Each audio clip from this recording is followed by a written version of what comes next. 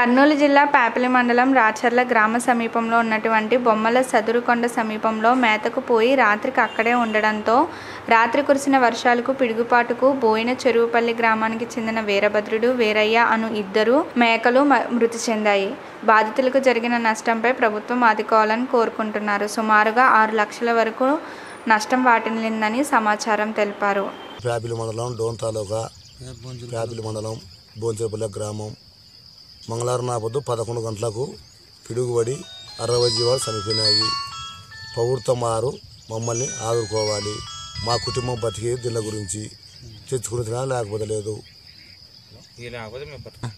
దీనిలో ఇరవ ఆరు లక్షలు మమ్మల్ని ప్రభుత్వం వారు ఆదుకోవాలి. మండలం బోంచెరపల్లి గ్రామంలో అడవిలో పదకొండు గంటలకు పిడుగుబడి అరవై జనం చనిపోయినాయి. దానిలో విలువ ఆరు లక్షలు ప్రభుత్వం వాళ్ళు మమ్మల్ని ఆడుకో ఆదుకోవాలి. మిమ్మల్ని మేము వేడుకుంటున్నాం ఏడుకుంటున్నాం.